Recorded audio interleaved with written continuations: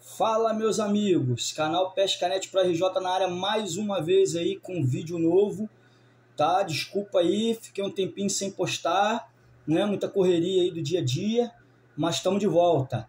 Não esqueça aí de deixar o seu like, de compartilhar com seus amigos. É muito importante o seu like, a inscrição, ative as notificações para você estar tá recebendo as novidades. Vídeo de hoje nós vamos aprender a fazer esse assist hook aqui né, de slow jig, tá? Mas já vou estar tá dando também a dica para como você vai fazer ele se você for usar somente para speed jig, que é um anzol só. Com, essa, com esse vídeo de hoje você vai aprender de uma forma que você vai conseguir fazer os dois. Então, por favor, o seu like é muito importante, compartilhar com os amigos é muito importante. Assim que eu tiver mil inscritos aí, vou estar tá fazendo live, vou estar tá fazendo sorteios aí de materiais, né? E vamos estar tá com mais dicas aí, vídeos de pescaria, tá bom, galera? Então, vamos lá, ajuda a gente aí, dá uma força aí pro canal aí, pro crescimento do canal Pescanet Pro RJ. E sem mais delongas aí, eu vou estar tá virando a câmera para a gente estar tá começando a gravar aí, né? Já vou estar tá mostrando os materiais também ao mesmo tempo. Você vai precisar e você vai ver como é fácil. Então, sem mais delongas, solta a vinheta.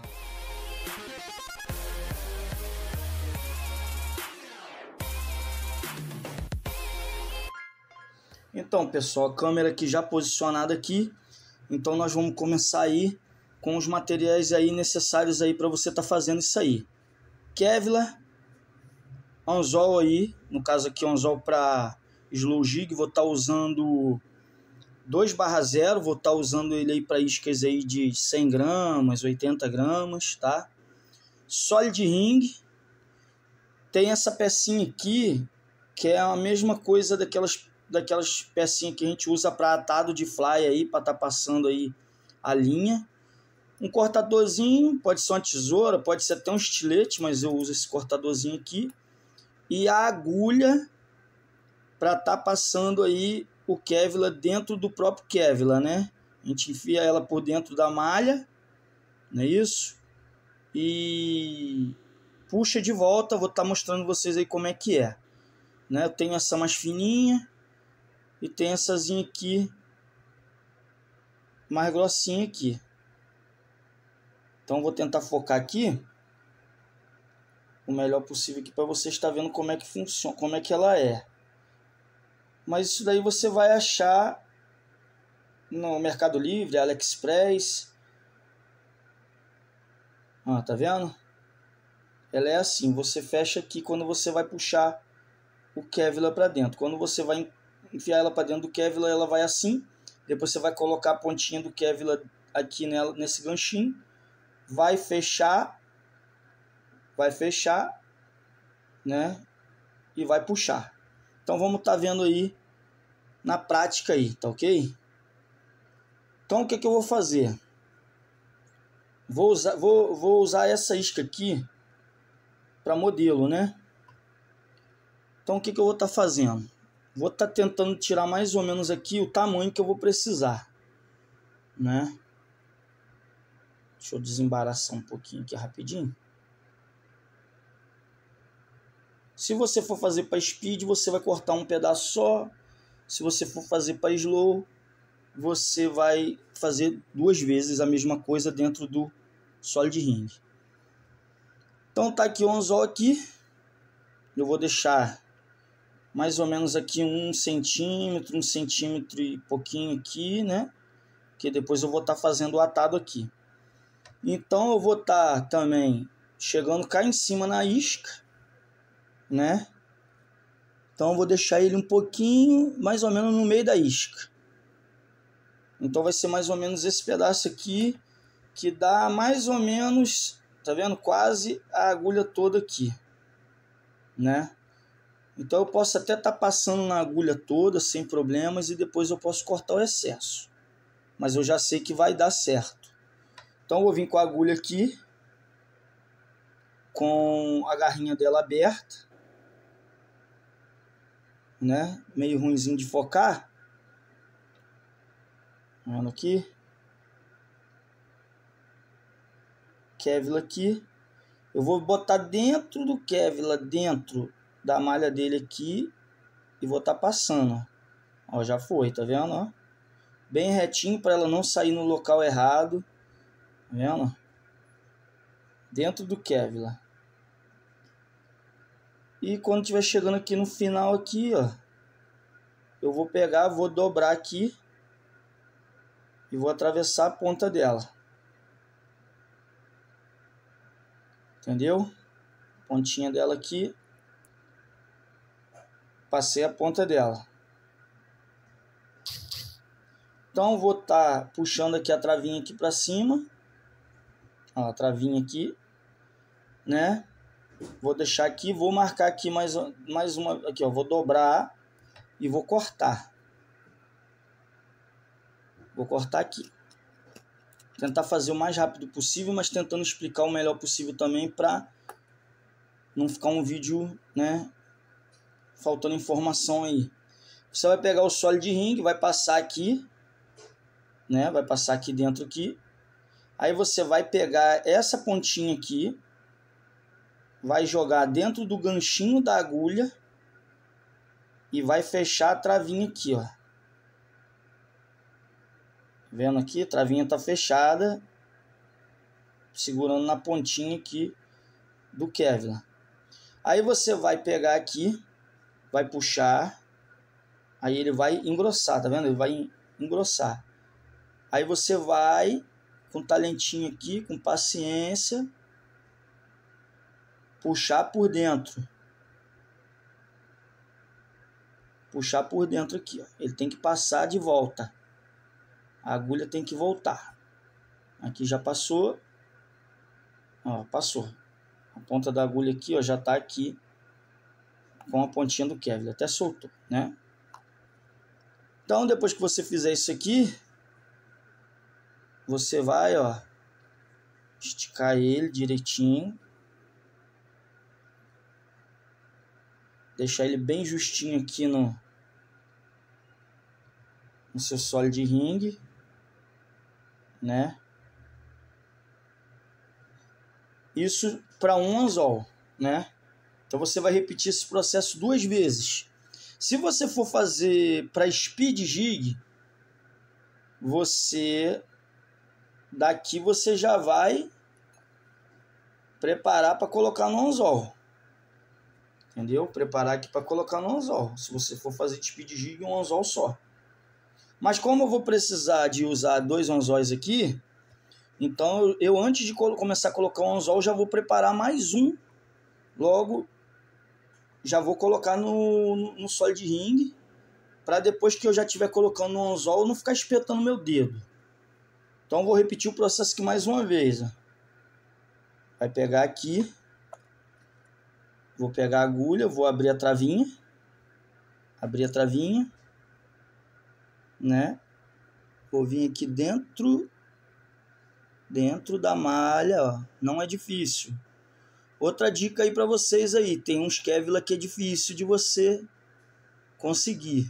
Ó, esse aqui saiu no lugar errado. Pode acontecer com vocês também. Você vai fechar a travinha, puxar a agulha de volta e começar de novo. Ó, por isso que o Kevlar aqui, perto da ponta da agulha, tem que ficar bem retinho, ó, senão ele acaba saindo na hora errada. Aí aqui já tá bom, tamanho já tá bom, dobra aqui e joga ele para fora aqui da malha.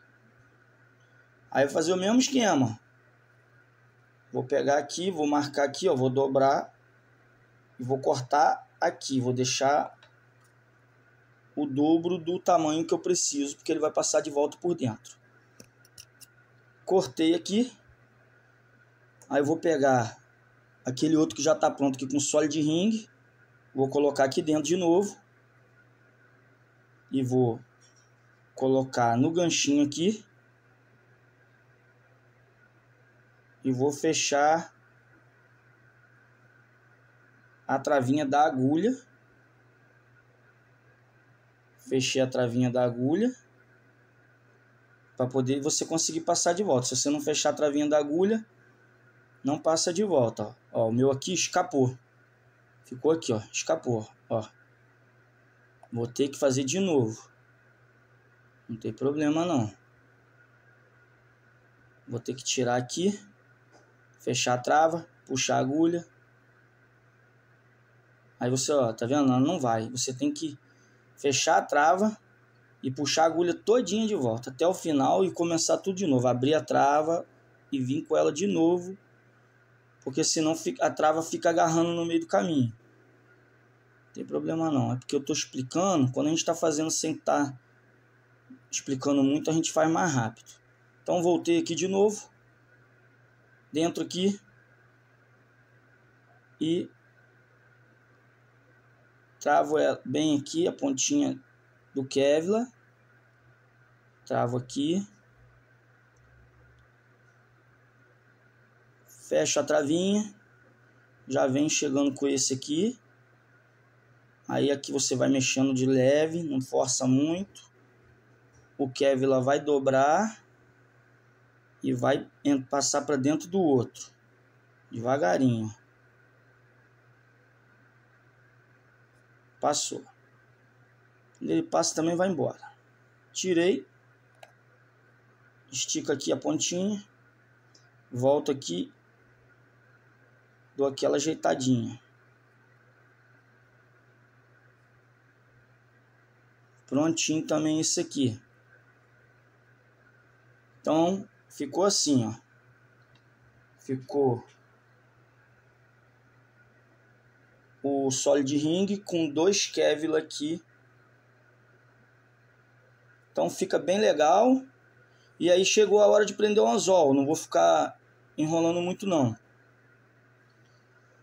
Agora eu vou marcar aqui de novo na isca. Certo? Lembrando que você vai botar ele aqui, ó. E a linha vai no, no solid ring. E aqui para prender na isca aqui, você vai botar um split ring. Então ele vai ficar acima. Então você pode segurar ele mais ou menos aqui. Trazer aqui e marcar o local que você quer. Eu costumo deixar pelo meio aqui da isca aqui, eu não gosto de deixar passar do meio. Então aqui eu já marquei o lugar aqui. Agora aqui, essa parte aqui é muito importante. Se você quiser que seu anzol fique virado para dentro ou para fora e não para o lado. Você vai segurar aqui na posição que o solid ring fique virado assim para você já está marcado aqui o local onde eu vou passar. Ó. Vou pegar a ponta do anzol, vou vir no meio do Kevlar. No meio da, do Kevlar, nessa posição, tá vendo? Nessa posição aqui, o seu anzol ficar virado para o lado certo. Senão depois o anzol ficar torto. E assim é legal que se você botar na posição, não, não tem como o anzol ficar torto. Ó. Passei, vendo aqui como é que eu passei, e aqui. Aí o que, que eu vou fazer? Ó? Vou rodar, porque ele vai ficar, a parte aqui que você vai atar, fica nas costas do anzol. Então vai ficar assim. Vendo aqui? Então agora vou dar um pause aqui que eu vou mexer a câmera de novo para mostrar aqui como é que faz o atado aqui. Tá certo? Vou cortar o excesso, vou cortar aqui assim. E vou virar a câmera aqui que eu vou prender na minha morcinha aqui. para mostrar para vocês a parte do atado. Então, pessoal, a câmera já está posicionada aqui. Eu peguei essas colas aqui de, de secagem rápida, né? Coloquei um pinguinho aqui, né? Já tirei o excesso, coloquei um pinguinho aqui só para ele ficar paradinho aqui na posição que eu preciso. Vou estar tá usando essa ferramentazinha aqui. É, essa foi eu mesmo que fiz, mas você encontra aí para comprar aí no Mercado Livre, no AliExpress, em lojas de pesca, né? É, para atado de fly. Prendi nessa morcinha aqui, porque eu não tenho aquela morsa própria para atados, né?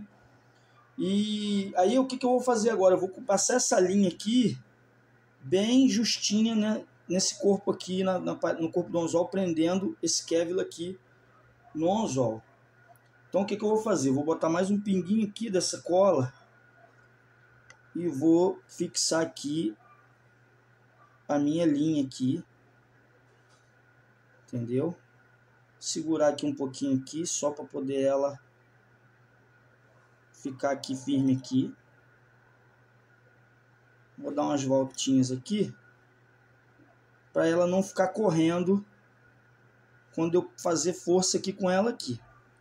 E também para mim poder ficar com essa mão livre aqui para mim estar tá passando o Kevlar aqui por fora aqui. Então você vai começar a fazer isso aqui, ó. No início vai rodar um pouquinho, você segura aqui. Você vai começar a apertar aqui e ela vai começar a ficar no lugar. Então você vai fazendo isso aqui, ó.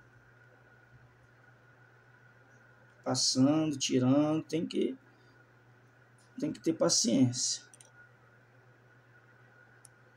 Depois também ela vai sair um pouquinho pro lado. Aí a gente vai pegar o alicate e vai tá fazendo esse Kevlar voltar aqui para cima aqui ficar certinho aqui. Hum, você vai passando, só que tem que ser firme. Por isso que o anzol tem que ficar preso aqui, porque se você for fazer isso aqui na mão, fica meio complicado. Tem que ficar tirando aqui, tem que ir passando, aí vai tirando. Porque esse aqui tem dois. Quando é para speed, um anzol só, fica mais fácil. Você pega o alicatezinho, vem aqui, ó, roda ele aqui, ajeita na posição, né? Estica aqui e vai passando. Eu tô usando aqui, eu não tô usando essa linha para atado não. Eu tô usando um multifilamentozinho, um restinho de multifilamento que eu tinha aqui, bem fininho aqui, 0,18. Aí você tira aqui e vai passando.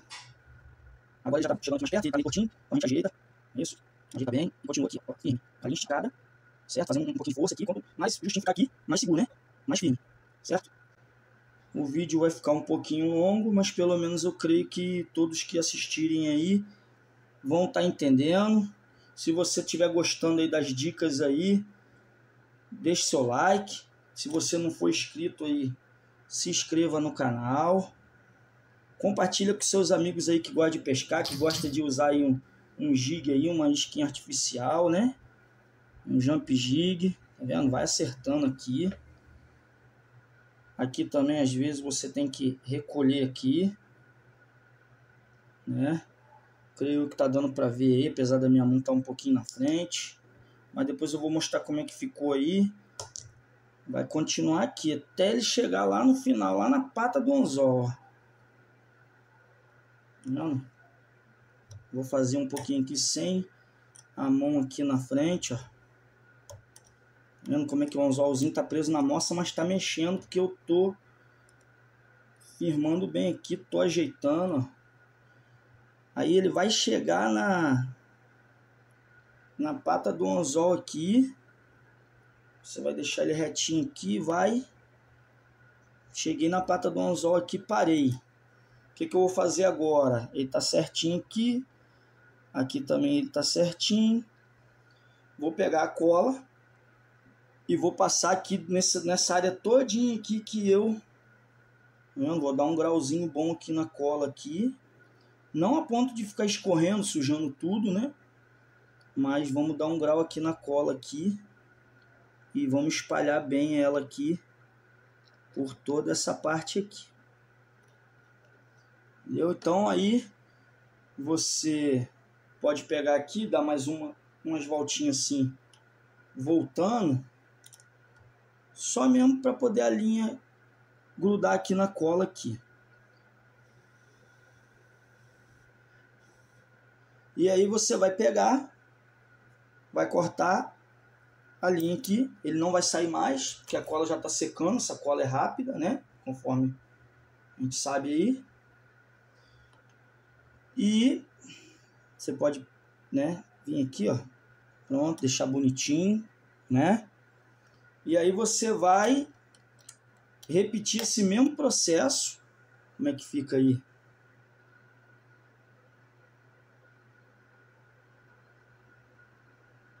direitinho, tá vendo? Vou tá virando aqui para essa folha branca que eu coloquei aqui. Como é que ele fica aí, tá vendo? Aí daqui você pode colocar um atrativo.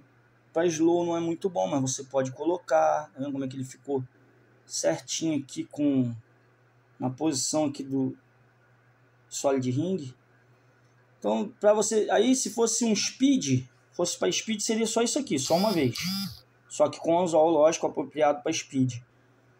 É, aí você poderia colocar a lulinha, né? Aí ele ficaria mais ou menos dessa forma aqui. Você pode colocar um atrativo, você pode colocar uma lula, né? Pode colocar aqueles espelhinhos coloridos, cristal flash, né? Então fica assim. Vou dar um pauzinho aqui, vou estar tá repetindo o mesmo processo do outro lado e vou estar tá mostrando para vocês aí. Vamos aí então, pessoal. É, adiantei aqui, né? Porque senão o vídeo ia ficar muito longo. Então ficou dessa forma aqui, né? Ficou aí separado um do outro. Isso facilita muito para você estar tá colocando o seu split ring aqui no meio, tá colocando na isca. E o resultado é esse aí. Anzol virado de frente. Teve gente que me perguntou, ah, mas eu preferiria colocar o anzol pro lado de fora. É só você virar. Se você virar, o anzol vai ficar do lado de fora. Mas as pessoas usam dessa forma aqui. Até porque quando você está trabalhando a isca, isso aqui vai trabalhar. Então esse anzol vai, vai mexer, ele não vai ficar nessa posição o tempo todo. Né? Então tá aí esse foi mais um vídeo aí. Se você gostou aí, né, do vídeo, você, por favor, deixe seu like, compartilha, né? Seu like é importante, a sua inscrição mais ainda, porque para a gente conseguir fazer live aí precisa de pelo menos mil inscritos e eu tô doido para começar a fazer umas lives aí com vocês aí, né? É, vão surgir vídeos novos, tá? Pode deixar que é devagar, mas a gente está preparando aí o melhor possível, né? Para estar tá aí trazendo sempre essas dicas aí. Existem alguns outros vídeos aí na internet ensinando aí, mas esse vai ser mais um, né? Muitas das vezes você está pesquisando, vai ver um vídeo de um, ver um vídeo de outro, você vai acrescentando, vai agregando, de repente você vai conseguir fazer até melhor do que eu. Então, eu quero agradecer aí, já passamos dos 300 inscritos. Quero mais uma vez pedir, deixe seu like, é muito importante, eu estou recebendo pouquíssimos likes nos vídeos. E não custa nada, você não vai pagar nada, só vai apertar ali o botãozinho do like, você não vai ter compromisso nenhum comigo. Isso vai me ajudar, tá? Vai me, me estimular também a estar tá trazendo coisas novas para vocês aí. E eu quero agradecer. Muito obrigado por tudo. Esse é mais um vídeo. Muito obrigado e fiquem com Deus.